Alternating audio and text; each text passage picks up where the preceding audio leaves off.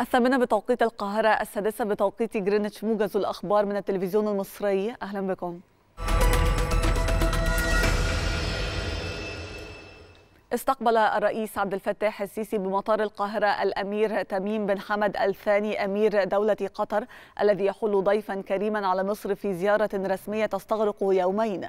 وصرح المتحدث الرسمي باسم رئاسة الجمهورية بأنه من المنتظر أن تشمل الزيارة عقد مباحثات ثنائية بين الزعيمين لتناول مجمل العلاقات الثنائية بين البلدين الشقيقين وسبل تعزيزها في مختلف المجالات فضلا عن التباحث حول تطورات القضايا السياسية الإقليمية والدولية. ذات الاهتمام المشترك.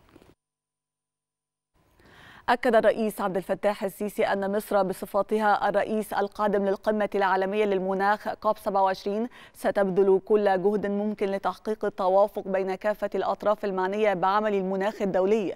وخلال مشاركته عبر ال video conference في جلسة الحوار رفيعة المستوى للتنمية العالمية في إطار البريكس بلس أشار الرئيس السيسي إلى أن الآثار السلبية لتغير المناخ على كوكبنا أصبحت أمرا واقعا يعرقل الخطط التنموية ويهدد الأمن المائي والغذائي على مستوى العالم بما يزيد من وتيرة الصراعات وتعقيدها.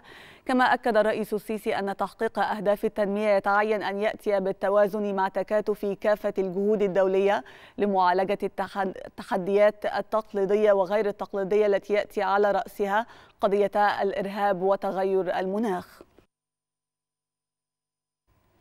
أطلقت وزيرة الثقافة إيناس عبد الدايم فعاليات الدورة الأولى من مهرجان السويس للموسيقى والغناء الذي تنظمه الوزارة ممثلة في دار الأوبرا المصرية.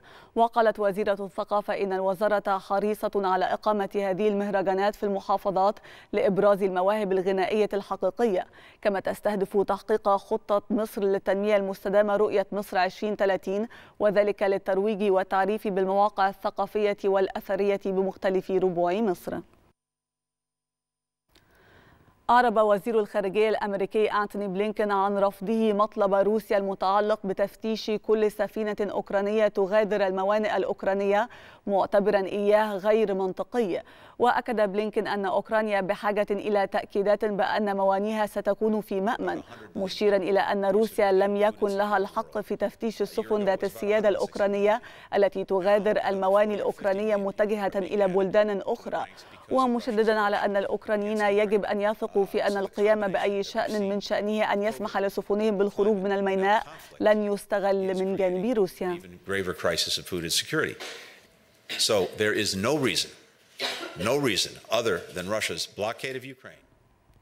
أعلن الرئيس الفرنسي إيمانويل ماكرون أن الاجتماع الأول لمشروعه منتدى المجتمع السياسي الأوروبي سيعقد في جمهورية التشيك قبل نهاية العام وأضاف الرئيس الفرنسي أن المناقشات أظهرت إجماعا واسعا حول المنتدى الذي سيستند إلى الجغرافيا والقيم ويهدف هذا المشروع الذي اقترحه ماكرون إلى توفير منصة للحوار السياسي والتعاون للدول الأوروبية ومن المقرر أن يضم دولا طامحة للانضمام إلى الاتحاد الأوروبي.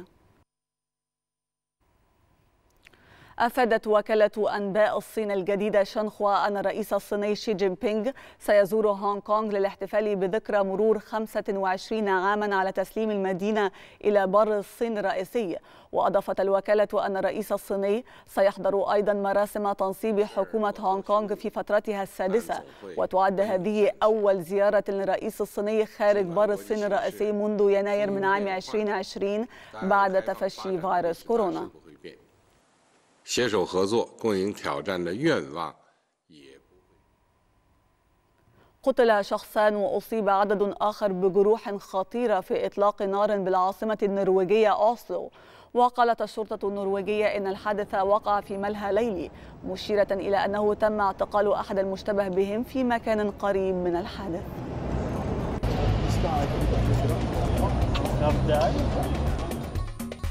نهاية موجز الثامنة نعود لاستكمال باقي فقرات صباح خير يا مصر بعد الفاصل.